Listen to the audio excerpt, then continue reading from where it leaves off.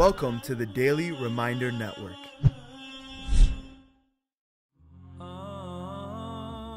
Heart Softeners by Sheikh Muiz Bukhary.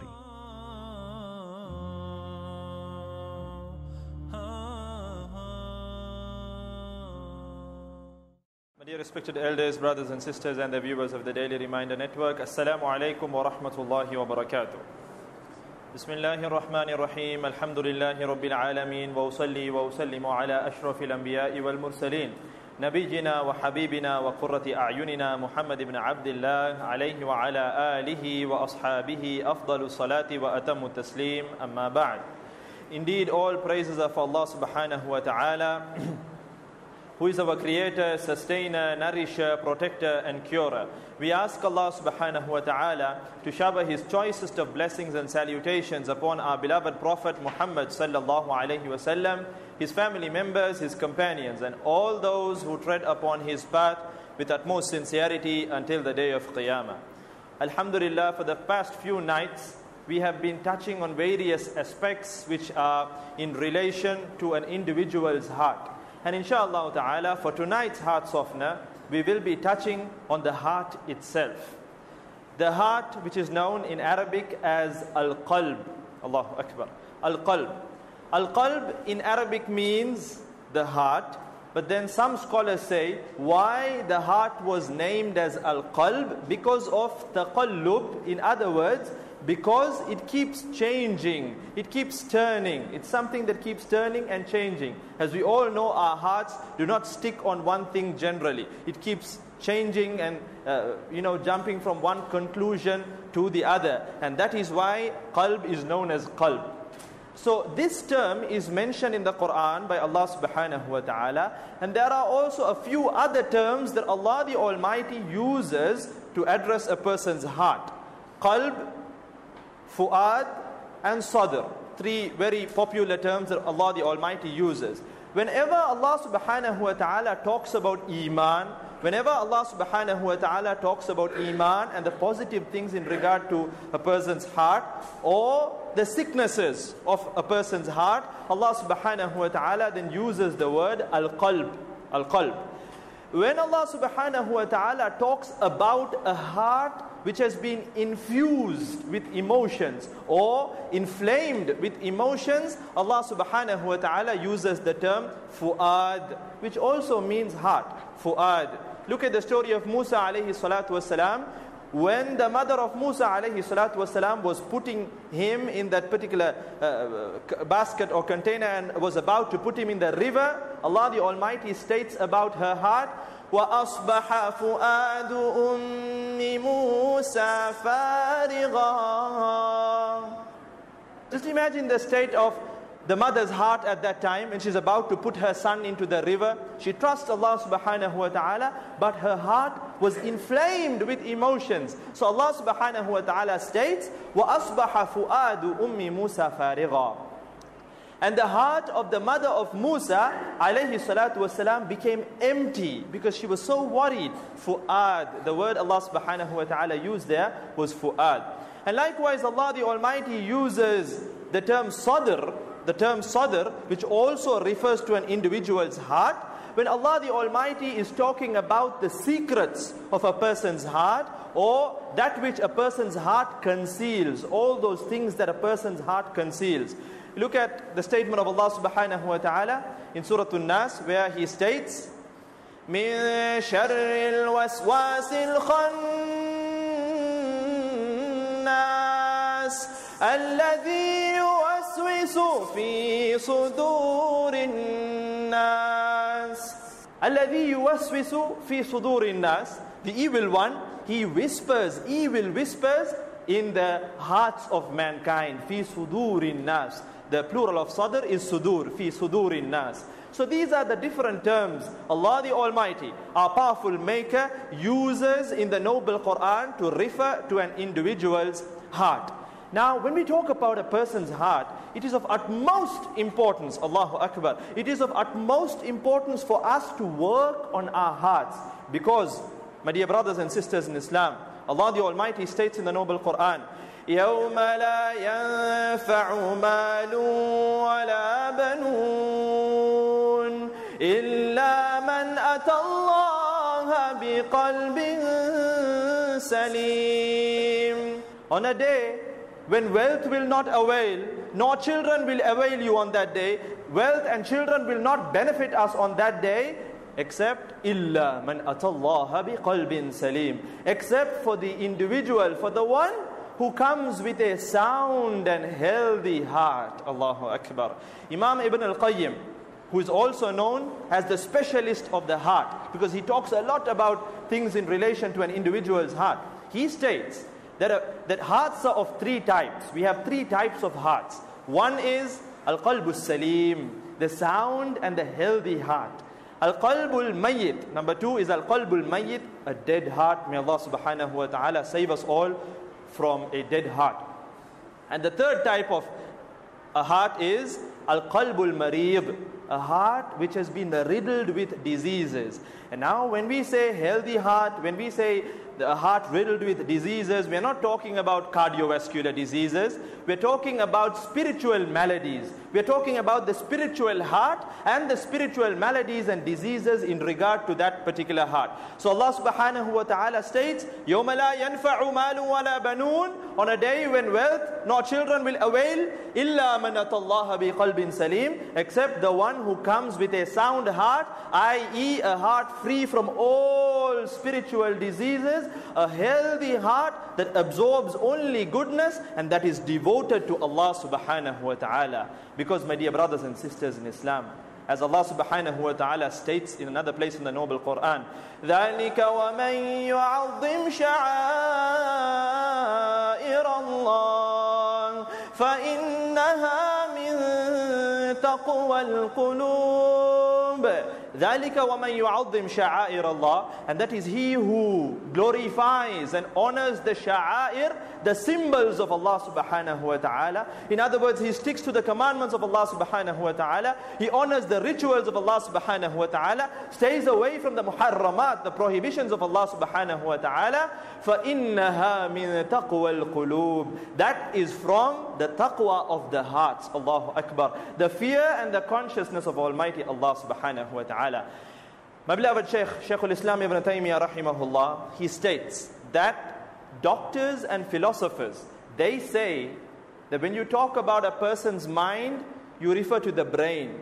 When you say thinking or when you're talking about a person's mind, generally the philosophers and the doctors, they point to your brain. But that is in relation to your heart, your heart. Imam Ibn Kathir rahimahullah, he states, the student of Shaykh al-Islam Ibn Taymiyyah rahimahullah, he states that arrogant philosophers, arrogant doctors state, ignoring the statement of Rasulullah sallallahu alayhi wasallam, that thinking and in regard to your mind, etc., that is all to do with the brain of an individual and not the heart of an individual. But look at the hadith of Rasulullah sallallahu alaihi wasallam, where Rasulullah sallallahu alaihi wasallam is reported to have said, "At-taqwa hahuna ashara ila sadrihi thalathan." Rasulullah sallallahu alaihi wasallam is reported to have said that taqwa is over here, and he is reported to have pointed towards his chest thrice. Allahu Akbar. And that is why, my dear brothers and sisters in Islam, we have this guilty conscience pricking us. Whenever we are going to do something wrong, there is this conscience that pricks us within us, and we know that it is coming from our heart. Our heart does not feel right, and that's why we say, you know what, my heart does not feel right to do this. Because it's our heart which is the control center. That is the base of taqwa. That is where our taqwa is based as in accordance with the words of Rasulullah.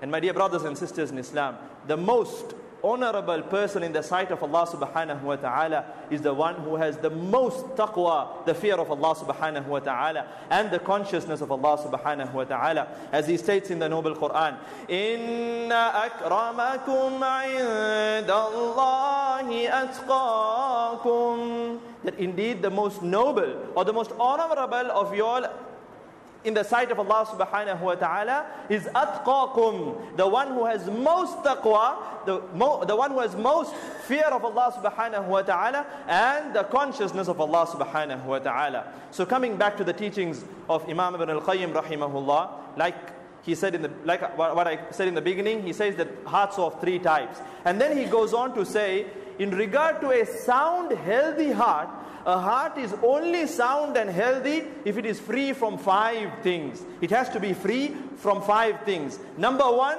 shirk. It has to be free from shirk that nullifies an individual's tawheed. Allahu Akbar.